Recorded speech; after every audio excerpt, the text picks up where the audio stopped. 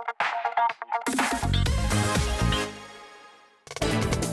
रणवीर सिंह और दीपिका पादुकोण की हो चुकी है सगाई। जी हाँ कुछ रिपोर्ट्स की माने तो साल की शुरुआत में ही रणवीर और दीपिका की फैमिली मिली और तभी ये फैसला कर लिया गया था कि रणवीर, दीपिका एक दूसरे के साथ शादी करेंगे। लेकिन अपने अपने करियर को ध्यान में रखते हुए इन दोनों ने सिर्फ़ एक दूसरे के साथ एंगेजमेंट की और शादी दो साल बाद करने का फैसला लिया। वैसे अपने एंगेजमेंट की न्यूज़ को अब तक ये दोनों लव बर्ड्स दुनिया की नज़रों से छिपाते आए हैं।